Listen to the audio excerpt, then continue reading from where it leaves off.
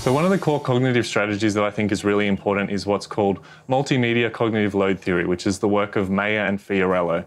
Basically, just keep in mind if you're producing slides, you want them to be consistent so they follow a rule, and you want to avoid text as much as possible. So you don't want to overwhelm students with text, because keep in mind text and the spoken word both essentially go through the same channel. So if you're asking students to read and also listen to you speaking, that is cognitively impossible. So as much as possible, use images in presentations and try and keep your speaking as succinct and clear as possible.